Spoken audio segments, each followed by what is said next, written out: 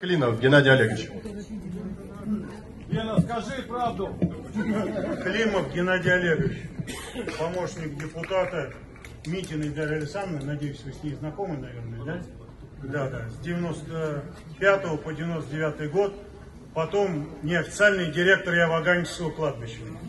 Что хотел вам сказать? Здесь красиво все говорили, все по сути, и там ФСО, ФСБ, кого только не было, профессора, академики, и вот я вам, колхозник, что скажу.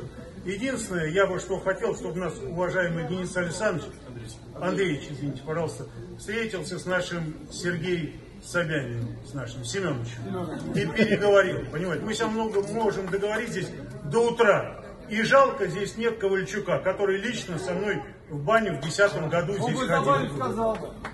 Нет, он по забане сказал, я говорю, жалко, что его нет. И только так мы можем достучаться до этих дверей, понимаете? А так нас не услышат и аккуратненько. Ну а кто против нас, я всех жду Новоганькова. Места там есть у нас. Меня рядом с Абдуловым, там дорогие места. Ну, а остальных, кто против нас, аккуратненько. Я в траншеи сам лично прикопал и в Ефрейторском кителе. Спасибо. Спасибо. Спасибо.